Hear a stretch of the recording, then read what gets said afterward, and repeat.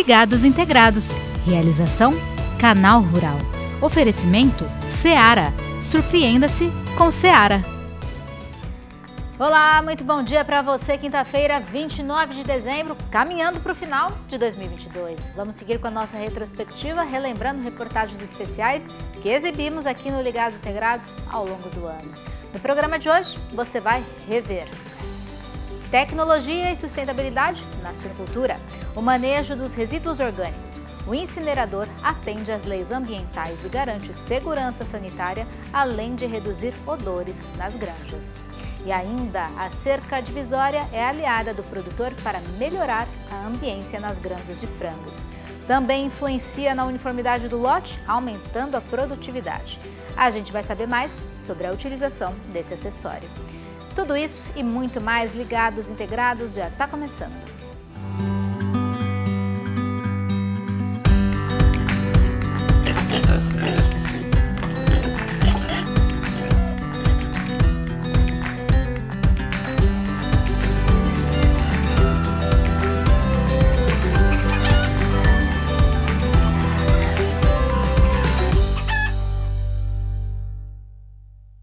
O investimento em tecnologia sustentável é fundamental para potencializar a cadeia produtiva de aves e suínos. Produtores pelo Brasil estão adaptando as granjas para diminuir o impacto ambiental. É o caso do Neymar e do Eduardo, suinocultores que trocaram as composteiras tradicionais pelo forno incinerador. O equipamento é movido pelo gás produzido no biodigestor. Vamos ver? Neymar e Eduardo são suinocultores em Dourados, Mato Grosso do Sul. Eles possuem um sistema de crechário. Toda a granja é automatizada para proporcionar ainda mais bem-estar aos animais. Tudo é feito com muito cuidado para reduzir ao máximo as taxas de mortalidade. Para dar a destinação correta aos animais que enfrentaram algum desafio e acabaram morrendo antes do final do ciclo produtivo, os produtores optaram por uma alternativa mais sustentável. Essa aqui, o forno incinerador. Girando a quase mil graus, o equipamento queima a carcaça de animais. O processo garante segurança sanitária e evita odores, diminuindo a presença de moscas e bactérias ao redor da granja. No projeto da granja, nós temos as composteiras. O que é a composteira que está ali atrás? Composteira, quando os animais morrem, né? Eles são esquartejados, é colocado na composteira, é colocado a maravalha ou pó de serra, né? Para fazer a decomposição em alguns meses. Então, é, isso ocasiona mosca, ocasiona bactérias, mau cheiro. Então nós decidimos eh, ter um, ter um, comprar um forno incinerador, que, que é o, usado principalmente para a gente é, acabar com a composteira né, e ficar sustentável dentro da granja funciona da seguinte maneira: o animal morto é colocado dentro do forno aquecido a mais de 800 graus com água. O equipamento é movido pelo gás que o biodigestor da propriedade gera, mas o resultado da queima não são cinzas. Ele vai derreter, uma, vai derretendo a carcaça completa do animal e ela cai num buraco e vai na tubulação que vai para a lagoa de dejeto. O biodigestor da propriedade de Eduardo e Neymar aproveita os detritos para gerar gás e adubo, geralmente com fezes de animais e o líquido resultante da carcaça derretida acrescidos de água. Mas antes de virar fertilizante, por exemplo, na lagoa de dejetos há um processo de decantação, de etapa por etapa. A primeira lagoa é a parte pastosa, onde dá o metano, então ela é decantada, por gravidade passa para a segunda lagoa e por gravidade passa para a terceira lagoa. Ao chegar na terceira lagoa, praticamente a amônia, o gás metano está quase eliminado, né? E fica-se uma água mais leve. E pelo, pela lei da lei ambiental é, a, é o dejeto que a gente pode despejar na natureza. Aqui nós temos um processo de fertirrigação, né? Que tem uma bomba, é feita uma linha mestre com, com encanamento e a cada 36 metros sai um, um registro e a gente tem linhas é, móveis, né, com aspersores que faz a fertigação na pecuária para ter um, estamos corrigindo nosso solo. O forno incinerador é mais um projeto sustentável pensando no futuro da cadeia produtiva. A granja do Eduardo e do Neymar é toda automatizada com tecnologias de última geração. Isso mostra que cada vez mais produtores estão aderindo a tecnologias que priorizem um manejo mais sustentável. As novas tecnologias que estão chegando e cada vez mais acessíveis a todo o nosso sistema de produção vão trazer ganhos que talvez a gente nem consiga ter a dimensão deles ainda, de todo o impacto que nós podemos ter, não só e fundamentalmente na eficiência da produção, porque toda vez que a gente consegue fazer com que a tecnologia melhore a condição geral de produção, o aproveitamento dos insumos, todo esse trabalho de eficiência, nós estamos melhorando a nossa competitividade, estamos melhorando a nossa sustentabilidade como cadeias de produção de alimentos. Isso é fundamental. Nossa unidade aqui em Dourados é que em termos de tecnologia, tecnologia de ponta, né? equipamentos, é, a estrutura da granja, é, também tudo que envolve o entorno, a gente tem tentado investir também. É, para geração de energia própria, é, utilização da, do, dos dejetos como fertirrigação, tratamento e fertirrigação desses dejetos. Nós temos a, a viabilidade da granja, que é a rentabilidade com os suínos, né? que é através da conversão do, dos lotes, e aqui a parte é, posterior, né? Que viabiliza mais ainda o investimento, que nós vamos fertilizar nosso solo, tanto para agricultura como para pecuária, e, e consegue viabilizar a propriedade ainda mais.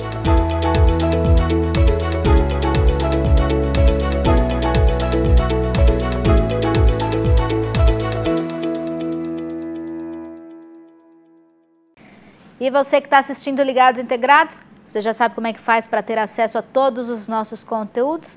É muito simples, vou te explicar como é que é. Você pega o seu celular, ativa a câmera dele e aí com a câmera ligada, você vai direcionar para esse QR Code que está aparecendo aí no cantinho da sua tela. E pronto, você já vai ter acesso a um link que vai te levar imediatamente para o nosso site e também para as nossas redes sociais. E aí você também pode enviar vídeos e mensagens para a gente pelo nosso WhatsApp. Mande as suas dúvidas, os temas que você gostaria de ver aqui no nosso programa Mostre um pouquinho do seu trabalho aí no campo. O nosso número é 11 97 571 3819, está aparecendo aí no cantinho da sua tela também. Depois do intervalo, tem mais reportagem especial aqui no Ligados Integrados. A gente vai falar sobre a cerca divisória nos aviários. O acessório auxilia o produtor na manutenção da ambiência e ajuda a garantir a uniformidade do lote. Daqui a pouquinho, voltamos já. Oi, pessoal do Ligados Integrados. Eu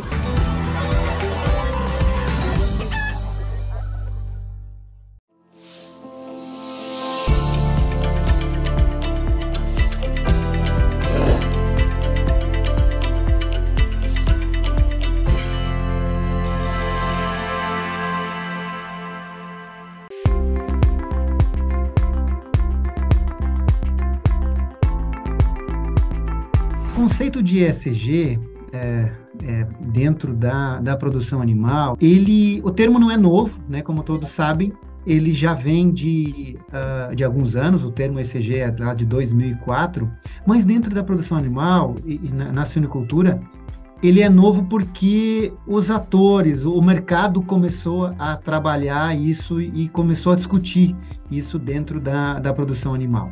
E a gente pode trabalhar isso na, na, na produção, dentro de uma granja, né? são essas três componentes, o ambiental, o social e, e a governança. Muitas vezes a gente pensa só no, no, na sustentabilidade ambiental, mas tem essas outras componentes também. Então, esse é um conjunto né, de estratégias que a gente tem que fazer, adotar isso dentro da granja, obviamente na integração com as cooperativas, com as agroindústrias, ou seja, com outros agentes também que englobam essa, uh, esse ambiente da, da produção. Né? Então, o primeiro ponto é elencar o que, que a gente pode fazer, fazermos um planejamento disso, para que a gente possa ter os indicadores uh, claros né, de, desse, das componentes da ESG.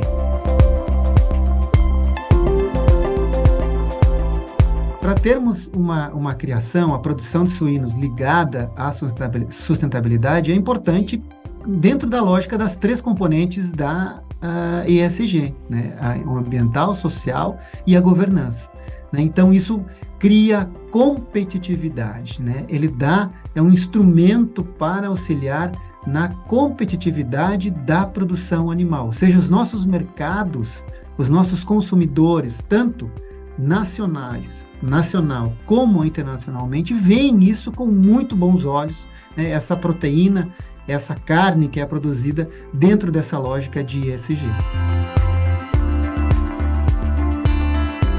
Para que esse conceito ESG possa ser colocado em prática dentro de uma granja, no ambiente produtivo, o importante, o primeiro passo para isso é planejamento. Né? Então, nós estamos buscando a sustentabilidade dentro dessas três componentes, nós precisamos ter planejamento, estabelecermos metas, ou seja, não vamos fazer tudo agora, vamos estabelecer metas e estabelecermos prazos para que essas metas sejam atingidas dentro dessas três componentes. Então, nós conseguimos com isso, no estabelecimento dessas metas, né, estabelecermos um plano de trabalho.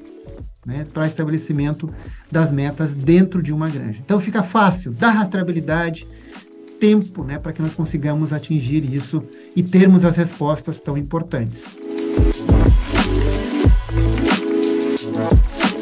O futuro da produção animal e a, e a lógica né, ESG dentro desse futuro que nós temos da produção animal é a palavra, uma vez mais, é sustentabilidade. Né? Então, o que o consumidor quer em termos do produto, que, em termos dos produtos que chegam a, a, a sua mesa, é uma lógica de rastreabilidade, né? uma lógica que envolve a, a, a, o desenvolvimento desses indicadores né, de rastreabilidade na lógica social, ambiental e de governança. Então, isso é importante para todos nós, e isso começa lá, na, lá dentro da porteira, dentro da granja. Né? Depois, isso sai da porteira, vai para o ambiente de processamento, transporte, até chegar na mesa dos nossos consumidores. É isso que os nossos consumidores querem e é isso que a gente pode fazer, usar a lógica ESG como uma ferramenta né, de, uh, uh, de sustentabilidade para a, a, a produção animal.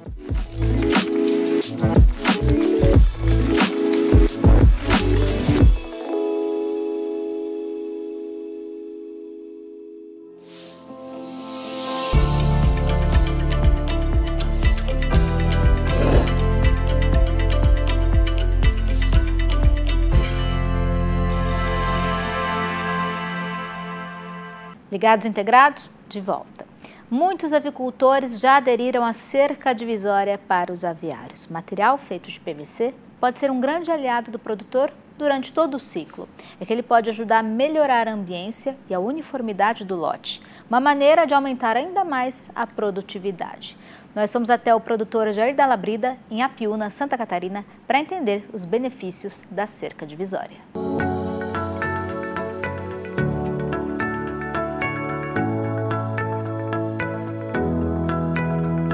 As cercas divisórias têm papel importante no aviário do Jair. A instalação das cercas é feita já no começo, quando vem os pintinhos, a gente já faz, já dividindo, né, se chama o espaço que é a pinteira, né? A gente divide em quatro partes. Com as aves mais próximas, o calor se mantém e o aquecimento fica concentrado na área onde elas estão, geralmente em 30 a 40% da área total do galpão. Conforme os pintinhos crescem, o aviário abre o espaço, mas ainda assim mantém as cercas. É que além das divisórias serem utilizadas para dividir a extensão do aviário, elas servem para manter a uniformidade do lote. A maioria dos produtores usam, tá? São poucos que ainda são resistentes, mas é, a cerca divisória é muito benéfica, tá? É, ele evita que a ave se acumule em determinados pontos do aviário, tá? É, diminu ela auxilia é, na padronização, então assim, a gente existe uma quantidade X de ave para para um comedor, para um bebedor, tá? Então com a cerca divisória a gente consegue padronizar isso, tá? É, então ele fica melhor distribuído no aviário, tá? Evita competição, né? Evita acúmulo de aves em determinados pontos ali, né? Para comer ração ou para tomar água. Conforme o lote vai se desenvolvendo, as divisórias passam a ser importantes para manter as aves assim, separadas. O aviário possui capacidade para 24 mil aves. As cercas dividem cada box. Então ele já inicia, faz antes né, do, do, do de, de, alojar os pintinhos, ele, ele já faz a conta, já descarrega né, as caixas de acordo com a quantidade certa e ele leva isso aí né, é, separado de, é, do início até o fim do lote. Normalmente a gente trabalha com uma cerca divisória a cada 30 metros, tá? Então no caso do produtor aqui do Jardim da Brida, ele tem quatro cercas, né? E essas quatro cercas, elas nos permitem trabalhar com cinco boxes, né? É, de, de aves, né? Há diversos tipos de cercas divisórias. Essa aqui, por exemplo, possui encaixes, mas conforme orientação técnica, o ideal é que o produto seja de ploricloreto de vinila, mais conhecido como PVC. Esse tipo de material reduz o risco de contaminação por bactérias, além de auxiliar no cuidado com a sanidade. O PVC, além de ser um material de muito fácil higienização, tá, ele auxilia também na questão da, da qualidade de carcaça, né, de proteção à ave. Né? Algumas cercas é, feitas com materiais inadequados, elas podem ter pontas ou farpas que possam que podem vir a, a lesionar a ave, né? E né, consequentemente gerar uma dermatose, uma dermatite, né, que pode consequentemente é, interferir no, no, abate das aves. Né. E nenhum produtor quer um prejuízo desse, não é mesmo? Só que para um resultado satisfatório, as cercas precisam ser bem higienizadas. É feita a limpeza, isso é quando sai os frangos, né? É feito limpeza, é lavado, né? As, as, as cercas, né? Desinfetado e é feito, já é colocado a lona de fermentação no chão, né? Para matar doenças e que tem. Fica sete dias a lona, né? Fermentando a cama, é recolhido, daí é feito um, uma, uma, uma, a gente passa um, um líquido para desinfetar, né? Do resto que fica de por cima do, dos equipamentos. Normalmente o produtor faz a higienização no intervalo sanitário do lote. Tá? É, ele pode usar aí é, desinfetante, tem os detergentes que a gente é, oferece né, via empresa para ele fazer esse, esse procedimento. As cercas são removíveis e instaladas entre as linhas de comedouros e bebedouros. No caso dessa aqui, o acessório possui 40 centímetros e não impede a ventilação do aviário. A cerca é uma coisa muito boa, porque assim, ó, o frango, a tendência é ele não ficar migrando lá de um canto ao outro no, no, no aviário, né? E ele não. É, ele fica mais parado tendência é não se amontoar muito também, senão ele se amontoa. O aviário do Jair é de pressão negativa, ou seja, expulsa o ar interno para o ambiente externo. Isso pode fazer com que as aves queiram se deslocar para perto do exaustor, principalmente no verão. E essa movimentação pode influenciar no resultado do lote, já que as aves precisam ganhar peso. A tendência é ele vir sempre procurando ar mais fresco, né? Então eles migram muito tudo para frente. Então já a cerca a gente divide eles para eles ficarem mais a quantia já a quantia certa separados, senão eles a tendência é sempre amontoar. Então, se o produtor tem a cerca divisória, esse comportamento acaba não ocorrendo. Tá? Então, a gente minimiza e reduz as percas com dermatose, problemas com qualidade de carcaça, tá? com o uso da cerca divisória. Ganha de peso também, e, porque daí o frango fica mais tendência, mas não, não, não, ele não migra tanto de um, de um canto para o outro no, no, aviário, né? Uh, ele fica mais parado. Uma oportunidade para que as aves se desenvolvam melhor dentro do aviário, em todo o espaço que ele oferece. Claro, aliado ao manejo realizado diariamente pelo granjeiro, as cercas colaboram com o resultado final um lote saudável e pronto para ir ao abate. Benefícios que fazem a diferença. Fácil manejo, tá? É, leve para o produtor trabalhar é, e faz muito bem a função. Faz três anos que o produtor optou pela cerca de PVC. Anteriormente, possuía de madeira, uma mudança que não se arrepende. Não, não, não, não, não dá para fazer um trabalho bem feito se não tiver essa cerca. Tem que, é obrigado a ter a cerca, senão não dá certo. O frango não. Ou ele fica muito no fundo, ou ele fica muito na, né, na frente, na entrada de ar, tem que ter, tem que ter a cerca, senão não dá certo.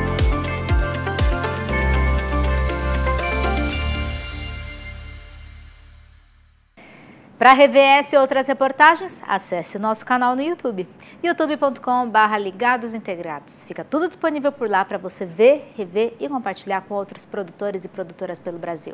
E aí você também pode interagir com a gente deixando seus comentários. Vai lá, aproveita, se inscreve, que aí você não vai perder nada.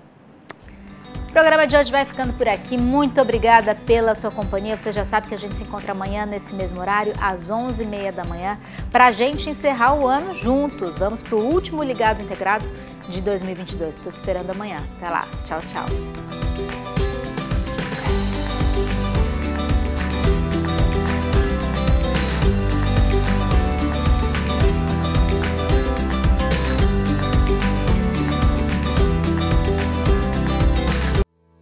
Ligados Integrados. Realização: Canal Rural. Oferecimento: Seara. Surpreenda-se com Seara.